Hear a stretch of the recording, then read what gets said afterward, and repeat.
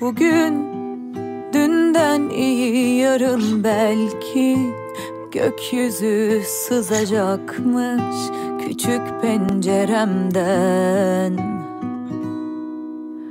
Öyle